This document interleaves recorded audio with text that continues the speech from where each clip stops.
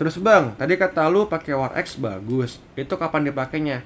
Nah kalau War X ini sebenarnya kalau kalian main Yo what up, brother, welcome back with Coboy Lex di sini Dan pada kesempatan kali ini gue pengen bahas bagaimana cara memilih item untuk hero Arlot yang terbaru Sebelumnya buat kalian belum tahu bagaimana cara memilih emblem dan juga penjelasan skill maupun pasifnya udah pernah gue buatin videonya brother bisa kalian cek linknya gue taruh di deskripsi. Dan hero Arlot ini bisa gue bilang ya hero nya OP banget brother. Apalagi baru keluar kan. Jadi kalau kebuka di ranket kalian ya ambil aja. Kalau nggak ban. Kalau ke kalau nggak di ban ya di pick. Soalnya memang lagi kuat banget. Dan kemarin gue udah buatin build yang tahan badan dan juga build yang cukup sakit. Sekarang gue bakal bikinin yang paling sakitnya kayak gimana dan juga beberapa rekomendasi build lainnya. Oke, nggak usah lama-lama, langsung aja kita masuk ke pembahasan buildnya. Pertama dari sepatu antara dua ya. Kalau nggak yang ini, yang ini. Kalau tim musuh banyak hero yang physical pakai yang ini. Kalau tim musuh banyak hero magical dan juga crowd control bisa pakai yang namanya Tough Boots. Cuma kalau menurut gue pakai aja yang Warrior Boots. Kenapa? Karena kalau kita lihat si Arlot ini skill 2-nya tuh immune jadi sebenarnya nggak perlu pakai tough boots soalnya dia nggak bisa kena stun nggak bisa kena slow gitu. Kecuali ada Kaja sama Franco ya. Yang bisa counter nih hero utamanya sih Kaja sih guys. Kalau Franco juga kalau dia lagi ultimate terus di sama tim musuhnya ya gagal. Jadi gue lebih prefer pakai yang warrior boots. Kemudian item attacknya bakal gue kasih tahu langsung aja apa aja gitu ya. Ada ini Malefic kemudian Endless Battle, Heptasis, Hunter Strike, BOD, sama War X. Udah, itu doang. Cuman ntar belinya tergantung sama tim musuh, hero-nya kayak gimana, dan keperluan kalian itu apa ya brother. Jadi ya tadi doang item-itemnya ini, ini, ini, ini, sama ini. Ini buat build yang paling sakit. Oke, kita bakal racik dulu. Di awal-awal gue paling suka pakai yang Blade of Heptasis. Item ini punya pasif, jika tidak menerima damage ataupun memberikan damage selama 5 detik, maka basic attack kita bakal lebih sakit serta memberikan efek slow ke tim musuh. Jadi tim musuhnya itu bakal nggak bisa kabur kalau kita lagi komboin.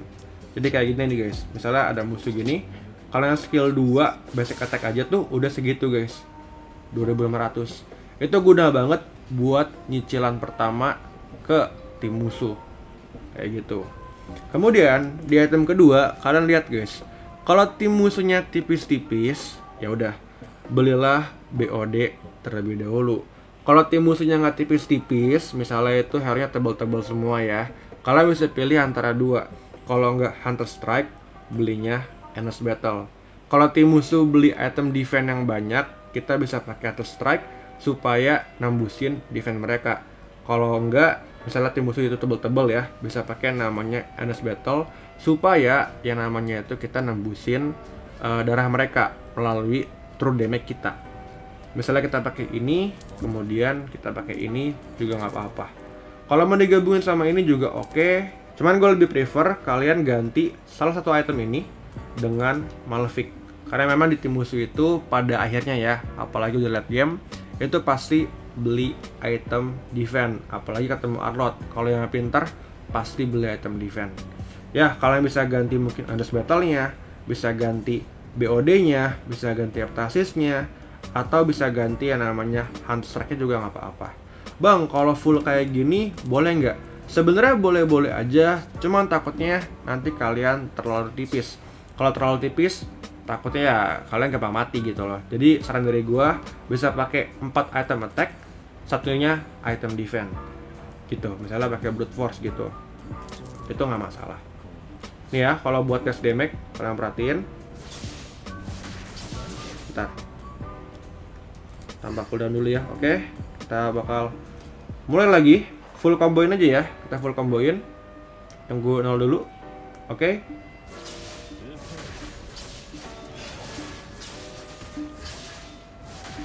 lihat guys 28.000 kalau build yang tebel kemarin ya yang cuma pakai blood last nih terus pakai ini yang bikin darah kalian nggak habis-habis tambahin BOD gitu ya apa-apa. Itu damage-nya ya biasa aja gitu.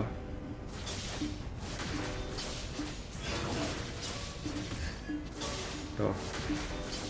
Dengan combo yang sama cuma 15.000 bedanya bisa sampai 10.000 dengan item yang tadi. Jadi ya terserah kalian mau pakai kayak mana. Mau pakai yang ini boleh mau pakai yang tadi juga boleh. Terus enaknya gimana bang? Saran dari gua kalau memang tugas kalian itu buat culik satu-satu ataupun inter belakangnya ya mendingan pakai build yang kayak tadi. Kayak gitu nih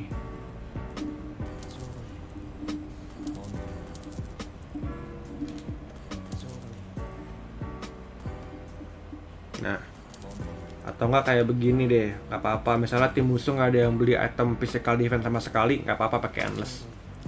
Kayak gini.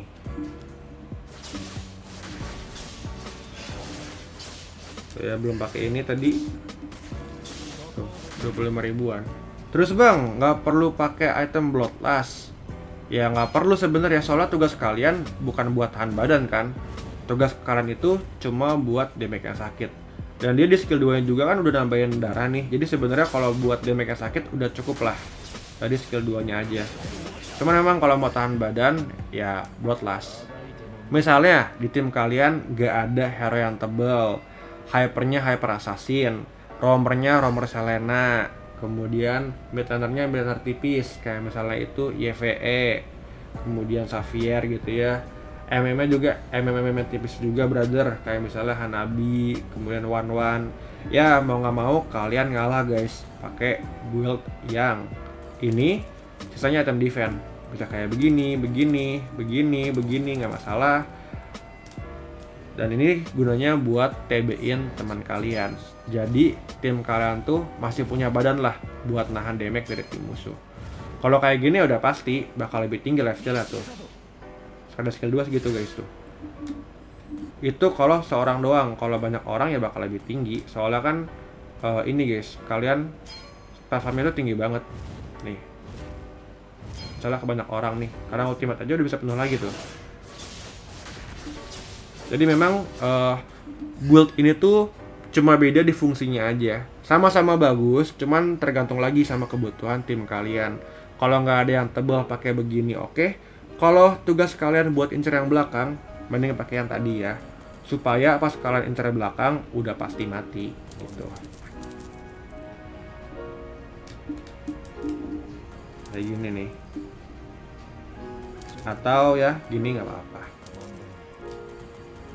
Terus bang, tadi kata lu pakai War X bagus. Itu kapan dipakainya?